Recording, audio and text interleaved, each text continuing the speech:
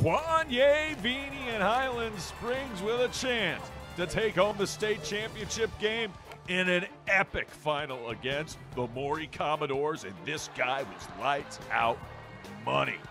Brian Alexander. We had an Alexander for Loudoun County. This Alexander, even better. Springers doing their job. Yeaman like work on the boards. Danzel Cole. Maury would hold their own on the rebounding position as well. There's Alexander again. Three more. Alexander had 19 points in the first half alone.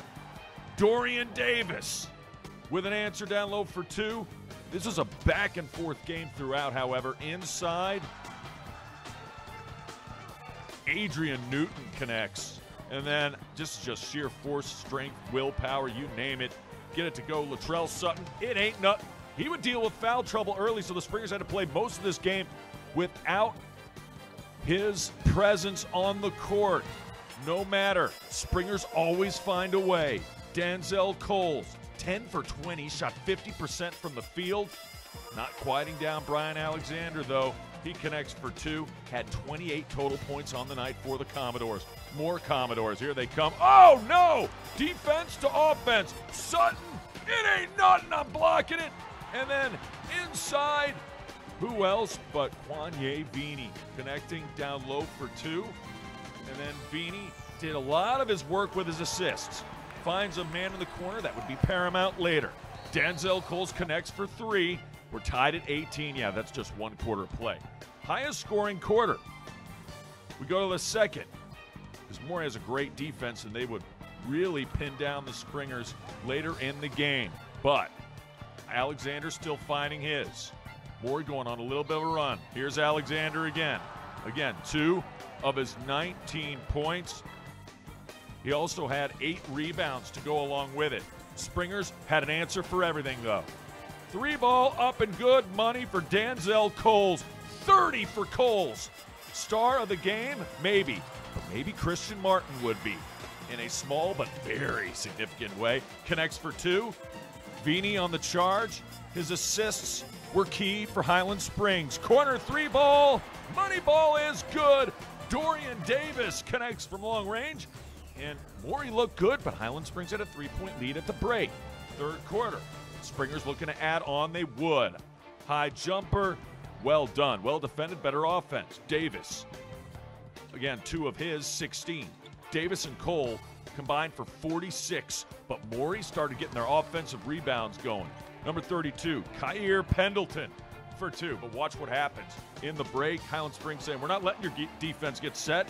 It is Coles again for three. Springers on the move once again. Coles deep. Got it. Denzel Coles. Money. Again, 30 points on the night. And plenty of rebounds to go with that. Maury, however, getting it going. And Adrian Newton had a huge game, 18 points himself. Maury would have a two point lead after three. And in the fourth quarter, Maury would grab their largest lead of the game. That's right, Newton, Fig, scoring down low. Newton, the floater, no. Offensive rebound. Looks like Maury is taking the willpower over Highland Springs. More from the Commodores. This doesn't feel like the Springers' night anymore. Maury up seven late with the two from Brian Alexander. Springers need a big play in a big way, and they need it in a hurry, and they get it. It is Sutton who comes off the bench after facing four fouls, two point play, and then three point play the old fashioned way. He can the free throw. Later, Springers still down. Christian Martin. Big plays late. Kmart, quarterback for Highland Springs in football. Big plays late in basketball. More Highland Springs still down in this one. That would get them within three.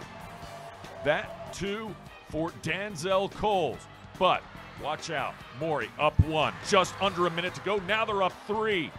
Springer's got to hurry. 30 seconds to go. Vini, what are you going to do? Vini to the corner. He finds Dorian Davis. Three ball ties it up. We're all knotted up.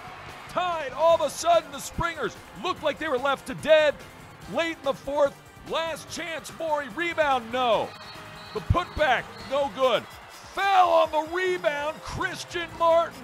With seven seconds to go. 62 62. Martin to the free throw line. Needs hit one. Bank is open. Got it. Springer's up one.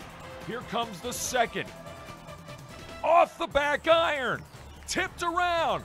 Maury's got it. One last chance for three. No. Rebound. No.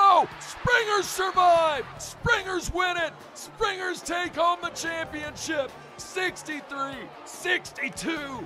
Christian Martin makes the play. An unbelievable finish.